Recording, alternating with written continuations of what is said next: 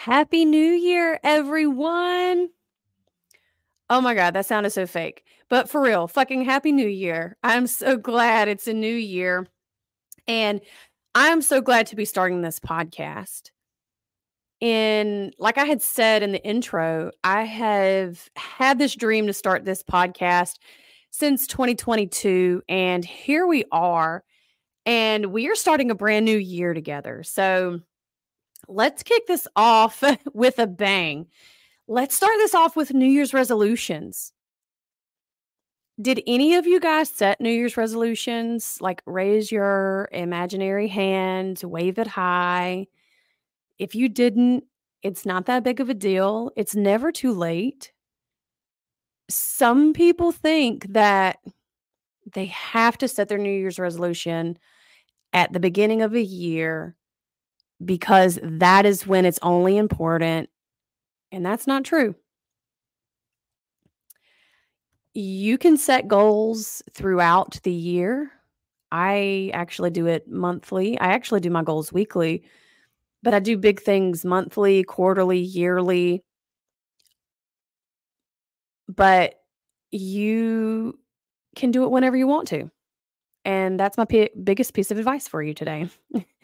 But let's get started. So, I'm so glad everyone has come into the new year.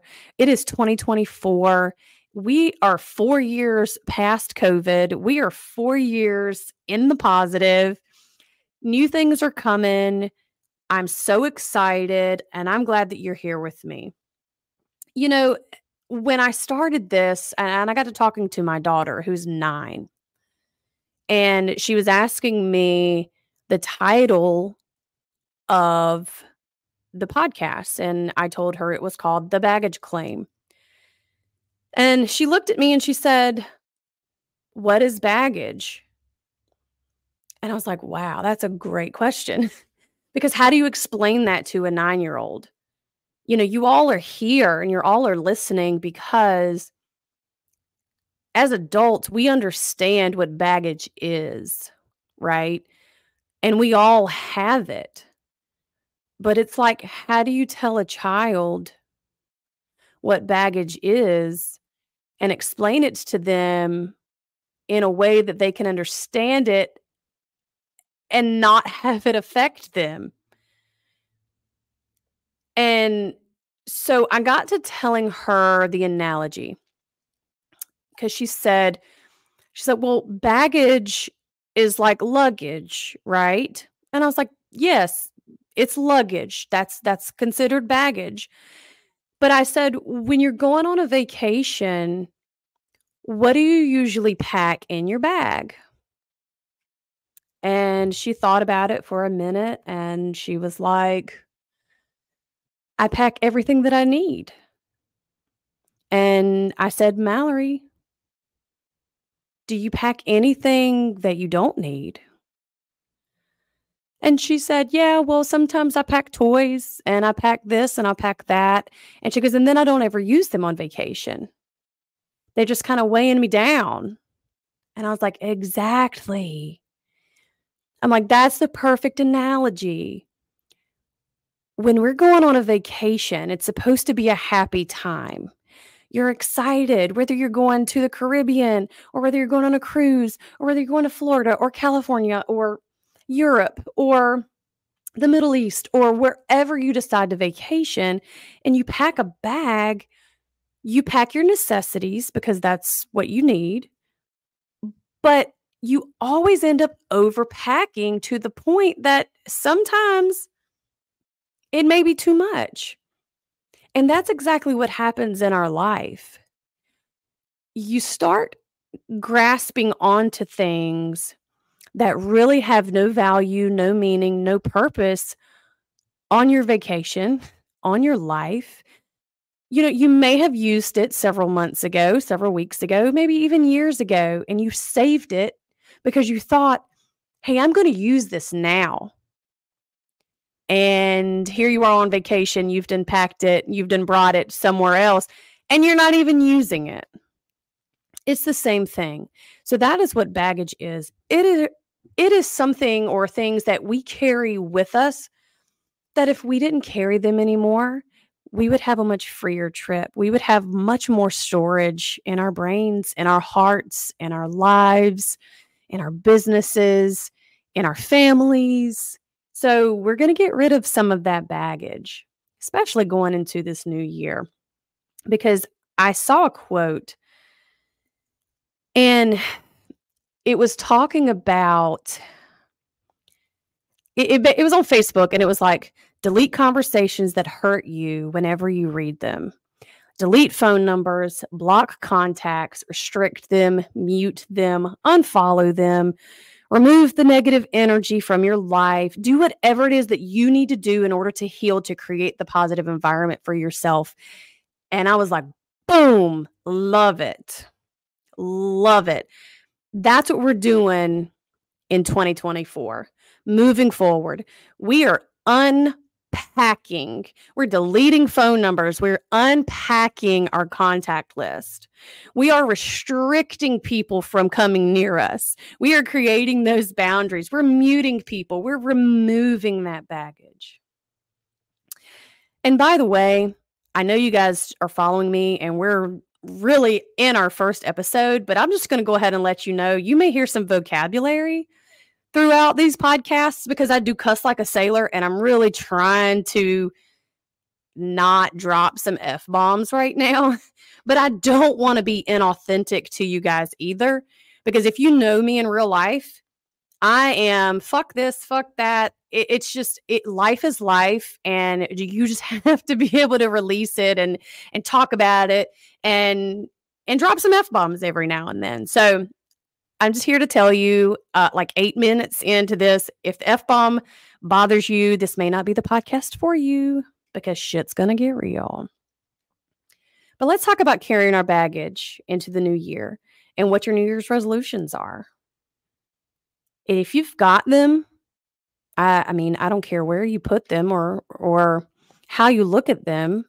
They could be on your notes in your phone. They could be on a Google Doc. You can write them down, you can make vision boards. But you have to set goals and resolutions. And you have to look at them constantly in order for you to see that clearer vision. And what we're not doing going into the new year is carrying that old baggage that may have happened in 2023, 22, 21, 20, no matter how far back it goes for you. We have to make a pact here today, right now, at this podcast, wherever you are. You are not taking baggage into 2024. We are not setting goals and resolutions for yourself in order for you to backtrack because you can't get rid of baggage. So we need to go ahead right now and just release release some of that baggage. And like I said, you you'll cry, you'll get frustrated. But when you set a goal, you have to have a clean slate you have to be rid of any kind of distractions that are going to stop you from hitting that goal. You know, the best example that I can give you, you know, the most common goal for the new year is people want to lose weight, right? That's that is the goal that people write down. They want to get fit. And at the very beginning of the year, within the first 30 days, they may have hired a personal trainer. They may have gotten a brand new gym membership to a local gym. They may have created a gym, a gym, a little workout group with their friends. But then after your first 30 days, like the shit gets old. it just does. And you know, you may have been focused on it, but then the people around you started falling out. They weren't showing up on time. They weren't answering your texts when you were like, hey, I'm on the way to the gym. Are you coming? Um, they were stating they had other events. So then they their commitments started falling. Those are distractions. Those people or those objects or obstacles are distractions to you from you hitting your goal. Another one of those distractions for the lose weight example is if you and your partner are not on the same page and you live in the same household and you want to lose weight, but your partner doesn't change any of their eating habits, but you're the main person that grocery shops and cooks and cleans and does all of that. But they are constantly eating the same old things and they could be drinking or they could be eating little debbie cakes at 11 o'clock at night or eating that ice cream with those with those warm cookies and that's right in front of your face that is a distraction i'm so guilty of that let me tell you what the best thing is if you go grab a coffee mug and you put two pieces of cookie dough in it put it in the microwave and you zap it for like 30 seconds and then once you get that out, you put two scoops of ice cream on it. You have a skillet cookie right in the coffee mug. Go try it immediately. It is amazing. But if your New Year's resolution is to lose weight, do not follow my advice because you will get addicted and you will get hooked onto it. But with that being said, you can't carry bad, negative energy, baggage into something new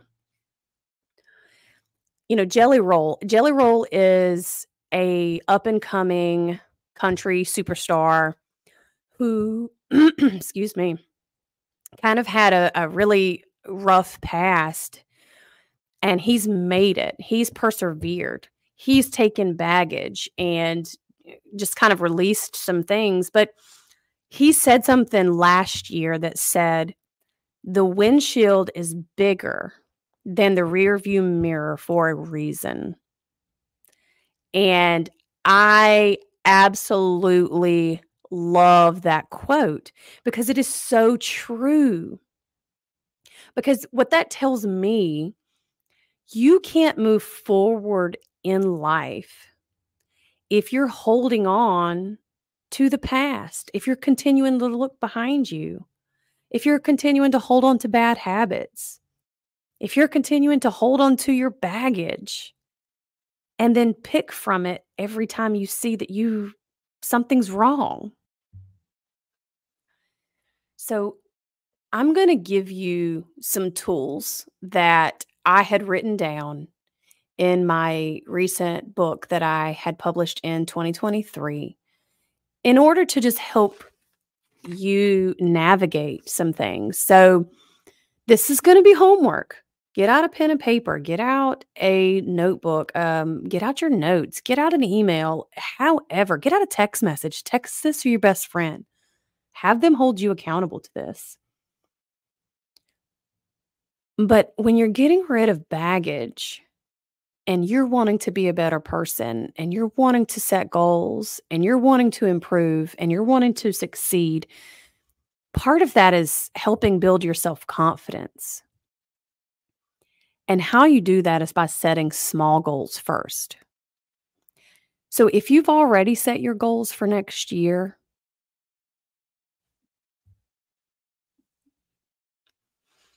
excuse me, this year, oh my gosh, can you believe it's 2024? Oh, but if you've already set your goals for this year, look at them. Are they specific enough? Or are they generic goals? if your goal is to make money and that's what you have written down, you need to set a new goal. You need to give a specific amount, have a strategy behind it, and give it an end date because that's how you're going to be able to measure it. So, I'm going to give you some techniques on how to build your self esteem how to build some self confidence that's going to help you navigate some things that will all in all help